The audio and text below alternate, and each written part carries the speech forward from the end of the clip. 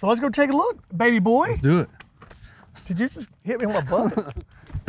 This was a party house it was a party house. Mirrors, uh, A, a stock bar, downstairs. tons of alcohol. Yes, it really was. It Ross was did some spot. drinking. I did some drinking, little dancing. Yeah, Matthew threw some ones, but I did those ones We didn't- At Ross. Yes, yes, and It was picked them good. up.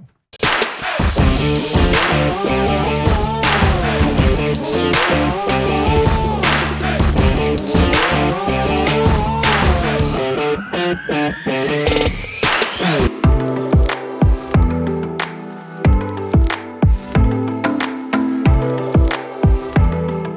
guys, we're here with Ross. We're at our Mountain Brook flip we just bought.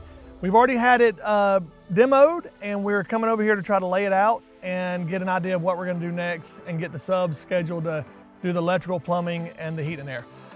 Ah, they took it down. Our guys are too quick. too quick.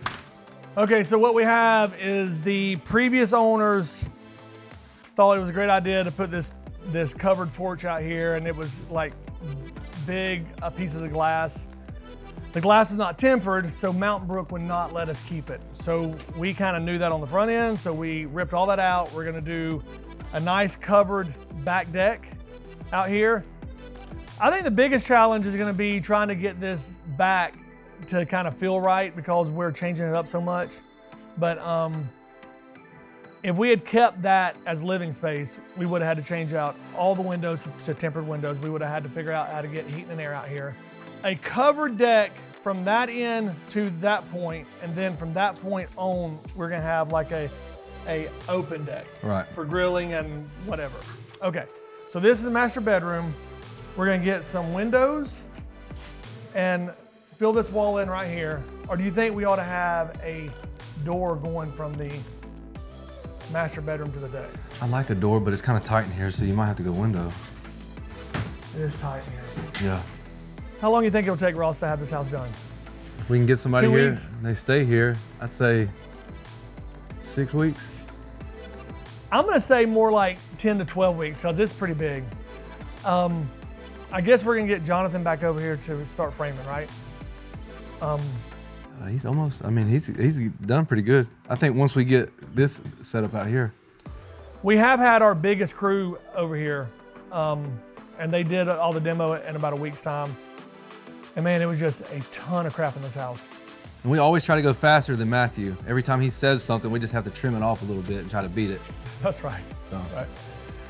always got to be fast. Maybe maybe you can have it done in three weeks then. That's right. Yeah, that's right. That's the goal.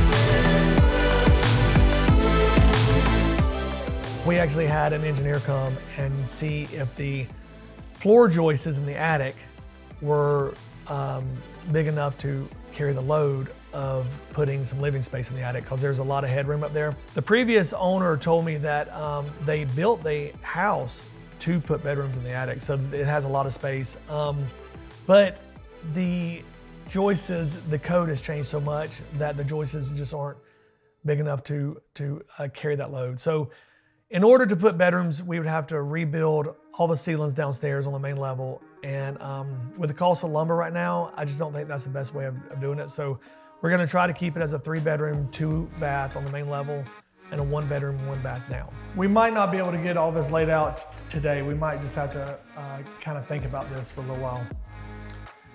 Um, a lot of times, what we'll do is we'll just walk through a house a couple times and hopefully after two or three times we'll kind of figure it out.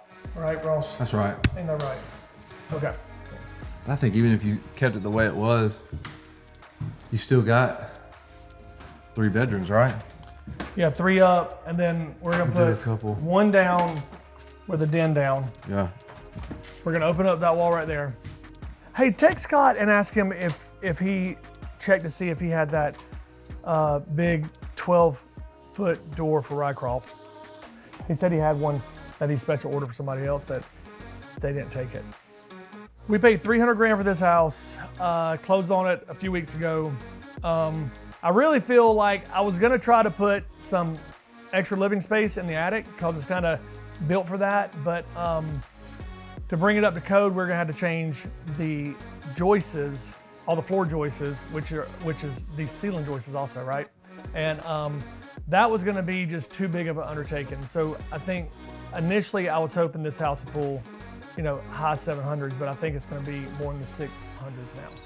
So, but I think it'll still be great. Um, we're going to end up having a three bedroom, two bath on the main level, and then a one bedroom, one bath in the basement with a den. I think we might try to maybe move that door Right. down here. Maybe close that window and have have a you know So you can move around. kitchen right there, have the range right there, and have a big island right here. Right. I think the biggest selling point here is is it's in Mountain Brook. It's got a lot of square footage, but it doesn't have a lot of bedrooms. Uh, I think that's the biggest problem. But um, I think it has a pretty big lot. I think lot. it feels um, kind of like an estate property. Um, we're gonna have to make that backyard more um, uh, kid friendly, I think. But I think we can do that. The previous owner had pictures of how it was when he was a kid, and it looked uh, pretty nice. Inspectors, especially inspectors, they frown upon large pieces of glass that are not tempered, because a kid could go over there and hit it, or or a person, or a dog, or you know uh, a ball hit it, and instead of it um, shattering into tiny pieces, it could come out in big chunks and you know hurt somebody. All I know is tempered glass is um, when it shatters, it shatters in tiny pieces, so it, it really can't cut you. This old 1960s glass is gonna slice you up, uh, break off in big, Big chunks. chunk. You know, I don't know if it's gonna do it. I mean, we're gonna see. As you can see, if somebody was standing underneath that, that could, could cut them up. But if it was tempered, it would break off in tiny pieces. So we're gonna turn all this into kind of outdoor living, you know, with some handrails, take the glass out. Matthew's gonna take the curtains to the loft. That's right, yes. Have the red room. Yes. Okay. Put uh, some windows there, a door right here, and um, I can kind of see it in my head. So uh, I hope it turns out like I see it. A little doorbell over there. We'll probably take Yes, that Yes, we're gonna take the doorbell out. But it's cool though. Yeah. And then Ross has been getting his party on Yeah, I'm here. some 1960s champagne. That's some of the. Was that the girl that was in the hallway? It was. Yeah. That's thick glass. Yeah, it's very thick.